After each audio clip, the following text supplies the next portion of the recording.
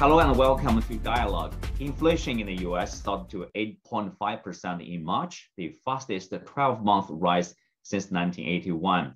Annual inflation moderated in April, but the consumer price index still increased at a rapid pace. The Eurozone has also witnessed record high inflation, and emerging markets, which are more vulnerable to shocks, are feeling the pain. Where is inflation heading? Can governments and central banks find effective tools to stabilize prices? To explore these questions and more, I'm joined today by Jim Rogers, an international investor, Michele Geraci, former Undersecretary of State of the Ministry of Economic Development of Italy, and Wang Dan, Chief Economist of Hang Seng Bank, China. That's our topic. I'm Xu Qinduo.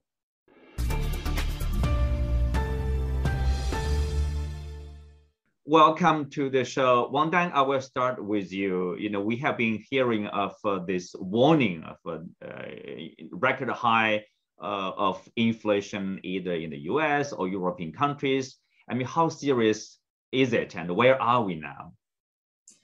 Well, we know that inflation ultimately is a monetary phenomenon. So it's no surprise that after printing so much money from the Federal Reserve and European central banks, uh, we are seeing the kind of goods inflation right now. But to me, it looks that it looks that the American inflation is going to plateau. Uh, so is the European inflation, and because uh, the energy prices seem to be stabilizing. And if the war in Ukraine has stopped, then we'll see this downward trend in commodity prices.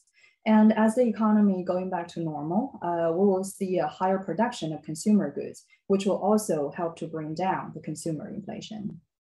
Michele, uh, you know, sitting from a European point of view, you know, uh, what's your outlook? What's your understanding of the inflation situation like in European countries? The situation in uh, Europe uh, is actually uh, getting a, a, little bit uh, worse because I think we also suffer of a delayed effect uh, we mentioned, of course, the pumping of money during the COVID, in a way, we're also suffering from the effect of uh, the global financial crisis that has pushed new money into the market. And the European Central Bank has been acting uh, very aggressively into the monetary system uh, in Europe. And this is, uh, in a way, expected. When we run out of investment ideas, or when the efficiency of new investment starts to decline, then that new money that was kind of hidden under the carpet before comes to surface and creates this effect, which is really the worst possible outcome because we have now uh, high inflation, prices up, the whole situation that we know with the energy prices. Uh, and so this is really the last drop that we need here. It, it, we thought we were going to be recovering, and now we get the second hit. Mm-hmm. Uh, well, Jim, it seems that uh, there are different opinions. You know, uh, the uh, Nobel laureate uh, uh, Joseph Stiglitz that that the magnitudes of the current you know price hikes has have exceeded that of the 1970s. you know, the U.S. has experienced. Well, former Fed Chairman Bernanke said it's not anywhere near that of the 1970s. so, what you know, how do you see this current inflation? Well, this will actually be worse in the 1970s before it's over. You know, the United States is now a debtor nation, and in the 1970s, we were a creditor nation.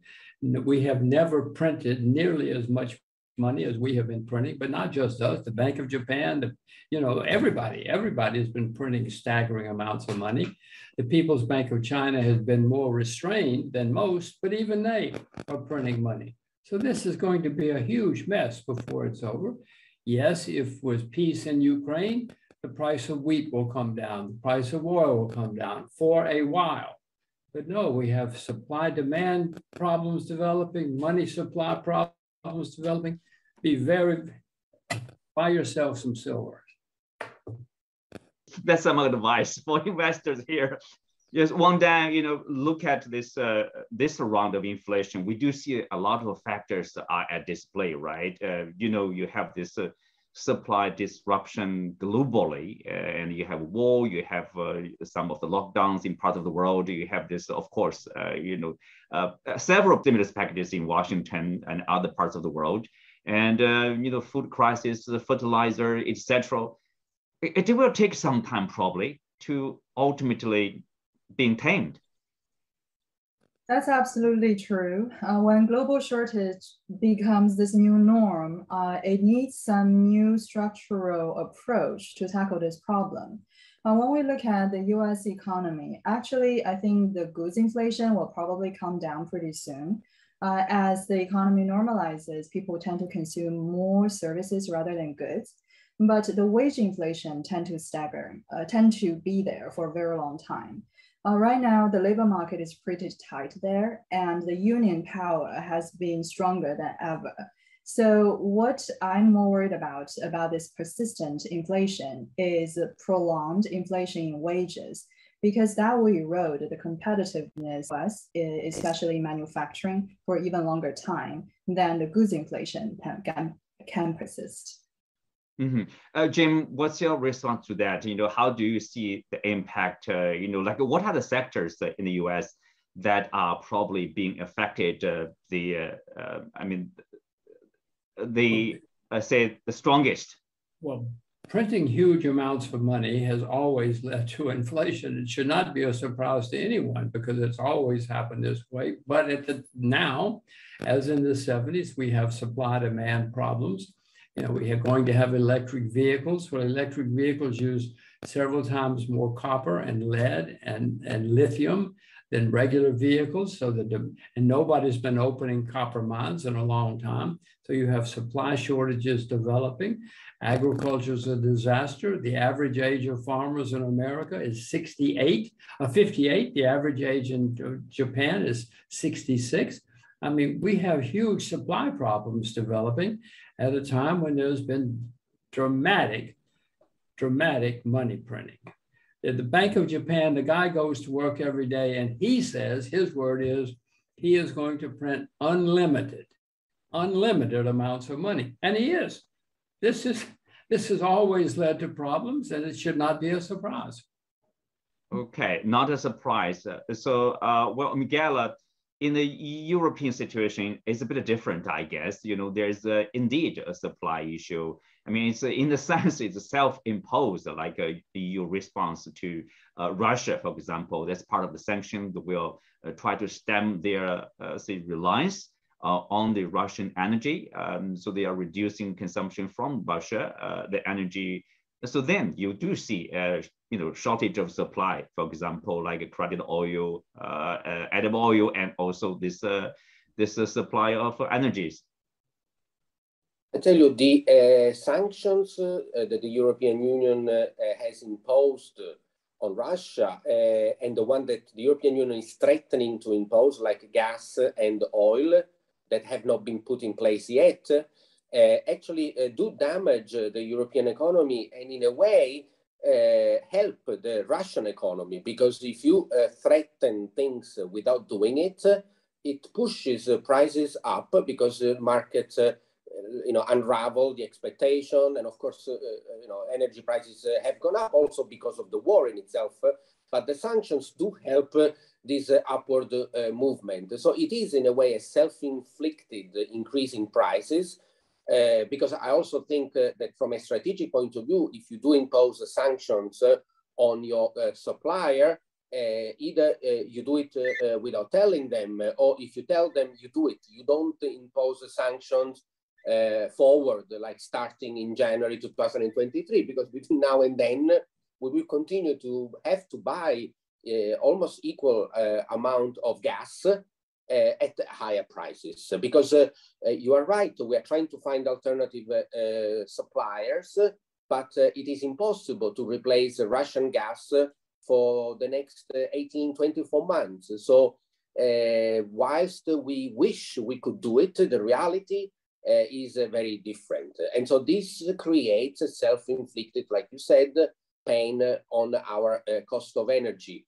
Now, our manufacturing uh, uh, sector in uh, Europe, in Italy, and in Germany is competitive in the international market, not just because of the innovation, but also because of energy prices. Now, if we double those, we risk to put out of business many small, medium enterprises that are the core of the export uh, backbone of the Italian uh, economy. And so this has a ripple effect high energy prices, manufacturing uncompetitive, small, medium enterprises, the one that would suffer most because they don't have the scale to absorb. And that would put us in a long-term recession and a, into a structural problem because we cannot recover from that very easily. It would not be a temporary shock because once you wipe out the productive sector of the economy, uh, it's going to be very difficult to, to replace it with some new uh, you know, producer. So I am more worried about the problem and the uh, hit on the supply side.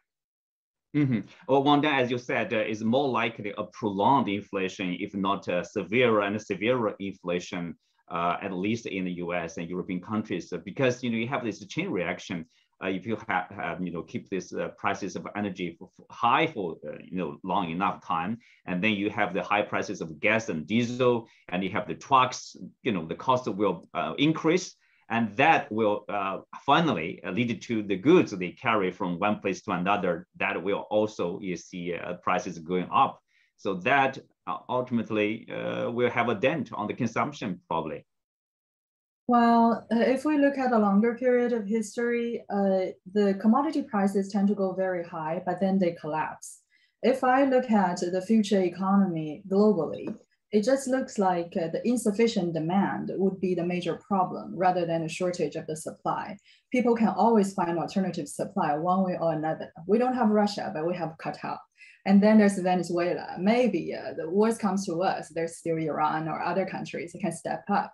Um, but for the demand side, we have already seen a slowdown in the European market. The US economy is still somewhat overheated, but I doubt this kind of good performance can last for very long because the Federal Reserve is hiking rates. And for China, the challenge is bigger than ever. We have to contain COVID first before we can revive the economy. And the emerging markets might face a debt crisis in the coming future. Just look at what's going on in Sri Lanka and what's going on in Argentina. Uh, then Argentina, and then uh, in the next three to five years, probably the demand cannot restore to the pre-pandemic level. And by then, we might see a bigger crash of the commodity prices. And then the inflation will no longer be our biggest concern. Mm-hmm. Well, Jim, do you agree? Uh, at least right now, you see the consumption or spending power in the U.S. market and the job prospects, uh, you know, remain strong. I mean, that's a that's a good thing. Uh, you know, you can worry less probably about the inflation, despite the price hikes. You do see uh, continuous uh, uh, strong uh, consumption. That's something to celebrate. We all like strong economies. There's no question about that. But you can have supply problems can lead to serious problems. And as Mr. Geraci said before, some of this is self-imposed. He talked about Europe, but in the US, the Washington has done their best to cut back pipelines. They've cut, done their best to cut back drilling for oil and gas. Cut back on coal. Europe has cut back on coal a lot. So they're now they're surprised that prices are going up. Energy prices are going up. I mean, we have to understand supply and demand. It has not changed, it never has. And unfortunately, politicians worldwide usually don't understand how the economy works. And the, a lot of this is self imposed. Now, Ms. Huang says that commodities go up, and they do, and they go up a lot, and then they collapse. That's true, but it takes a while. This doesn't happen in a week or a month or, or a quarter it takes a while. And it seems to me, since supply and demand are so out of whack, we're going to have commodities going higher for a while. When the war stops, it will go down for a while, but no, I, I don't see supply and demand in commodities coming into balance for a while.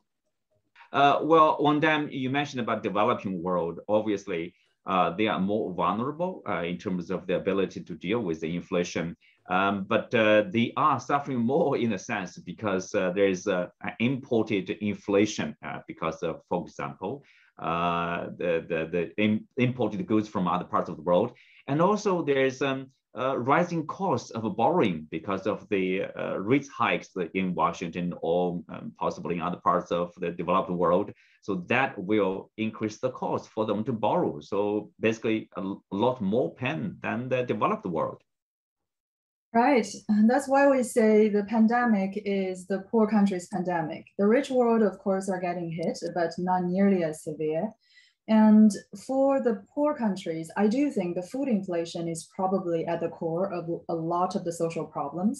uh, usually the social unrest is associated with food inflation and also with energy inflation, of course, one way or another.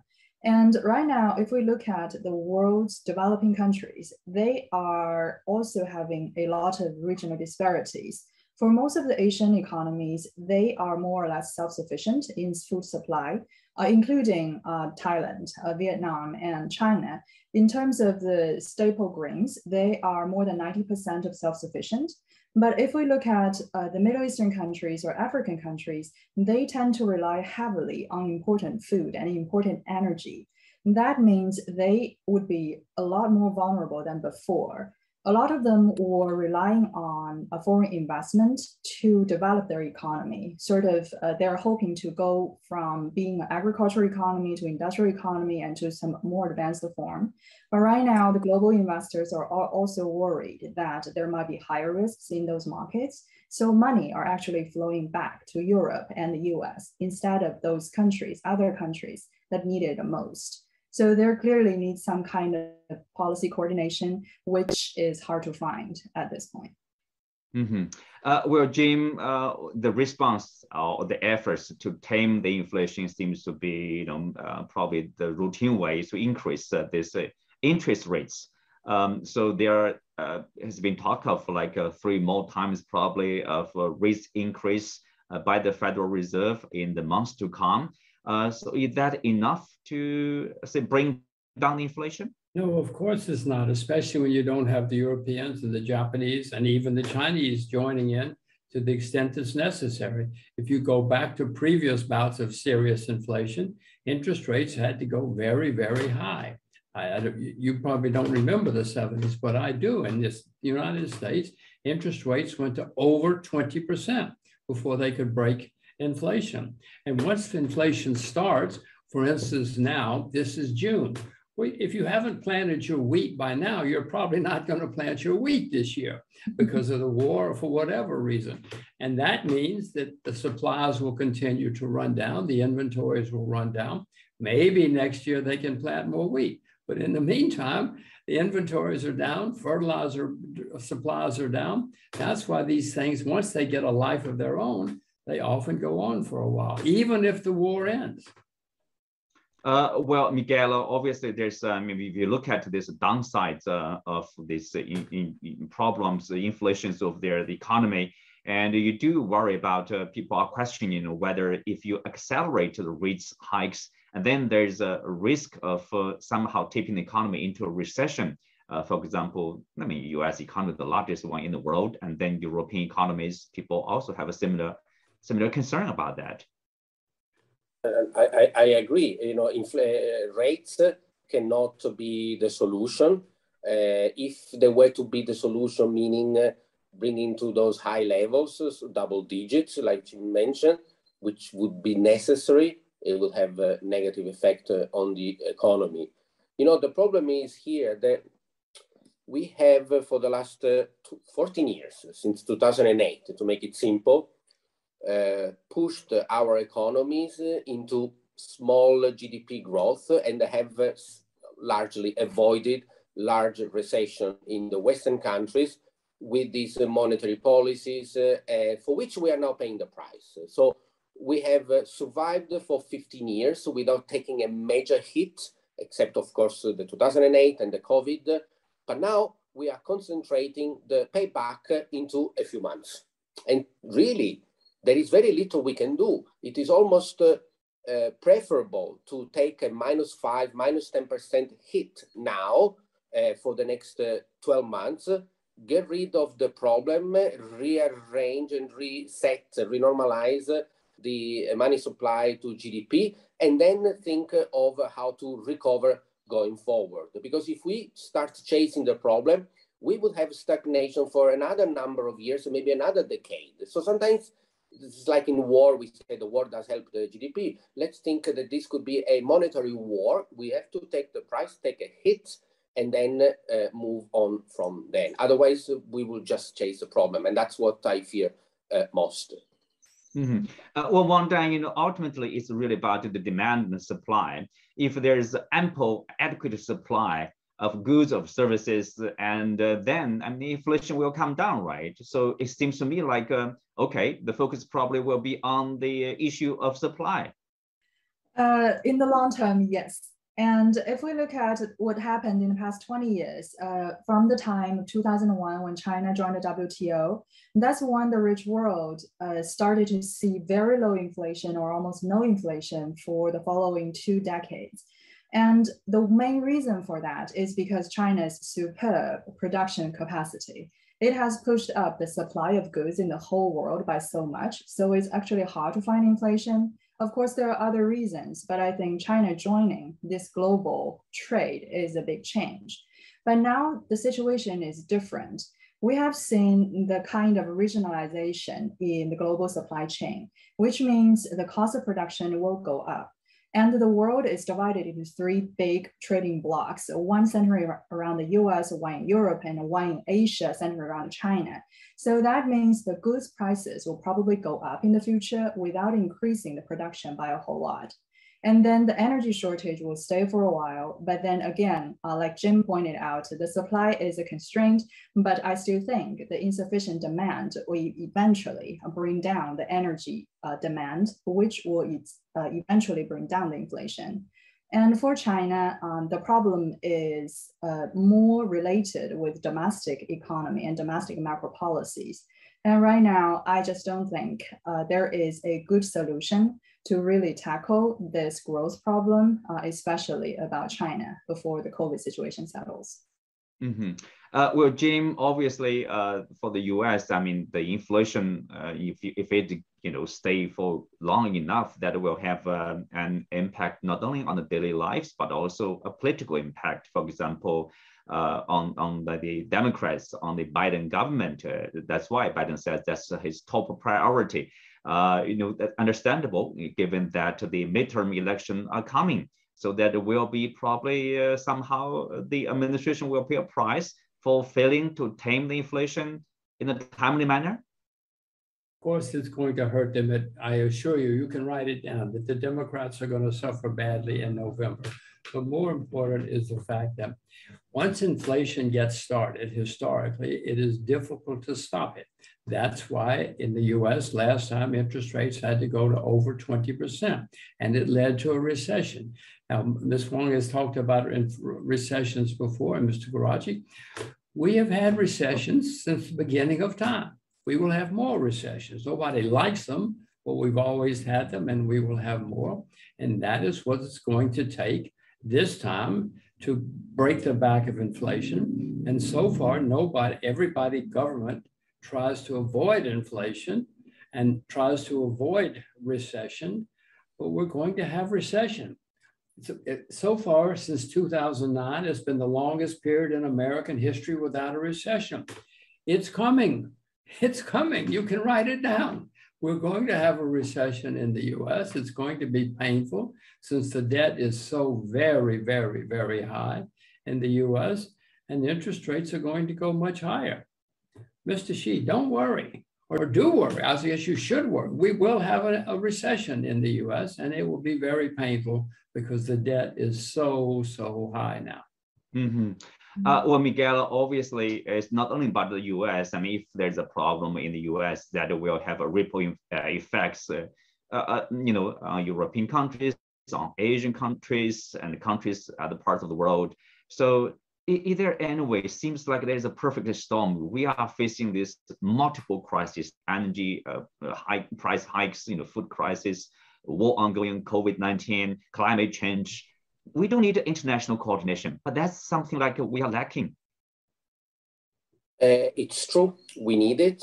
And I'm not surprised that we're lacking because uh, uh, with the central banks uh, raising, as they have done in the past, uh, to who prints uh, most money, the Bank of Japan, uh, European Central Bank, and the Fed, the coordination, uh, you know, we have tried to do coordinate, but at the end of the day, there is always a perception in some politicians' mind that my win is your loss. So there is a competitive not devaluation, because we are not looking here at pushing exports, uh, but uh, there is a competition on taming uh, the GDP impact, and that's why we have all uh, printed uh, uh, money.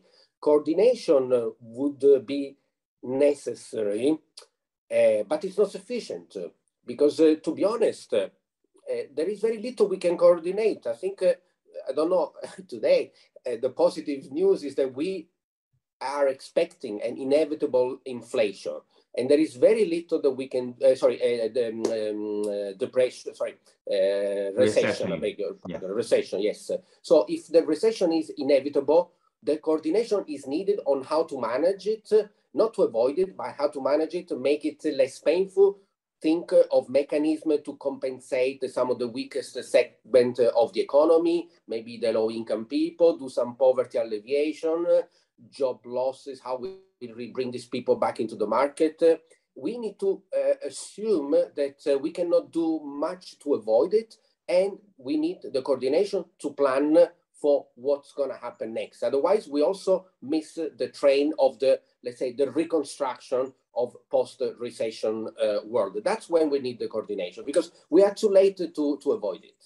So Wang Dan, you see this is like a rising trend of anti-globalization uh, or regionalization, I mean, better term probably, uh, fragmentation of the global economy. Do you see, uh, yeah, regional um, trade agreements like uh, uh, RCEP, like uh, CPTPP, and the latest one, like uh, the US proposed the Indo-Pacific Economic Framework, but it's basically targeting China or excluding China instead of bring every country along and push for more free trade and globalization like uh, every country is fighting for themselves. Oh, well, it's hard to find a common ground for all countries, but there are things that every country can work together, like climate change, right? Uh, one thing uh, that we need to understand is that, that every country need to understand others, uh, where others are standing. Uh, like recently in Davos, uh, the Secretary General of NATO was talking about freedom was uh, more important, is more important than free trade. A lot of people disagree with that statement, but we need to understand where that is coming from. So for China, climate change is clearly something it can contribute a lot to the global development for the next 20 years. Uh, so is America, so is Europe. And Europe is in a position of making a lot of the rules up front. And China, in a way, is a follower uh, for a lot of uh, a lot of practices, and it's also innovating in its own way. So for America, it clearly can step up its effort in making more industrial policies going in that direction. So there is a silver lining in the background of all those pessimism. So I haven't lost all the hopes yet. Well, on that note, we come to the end of today's show. Many thanks to our guests. You can also find us on the CGTN app on YouTube. I'm Xu Qinduo. Thanks for being with us. See you next time.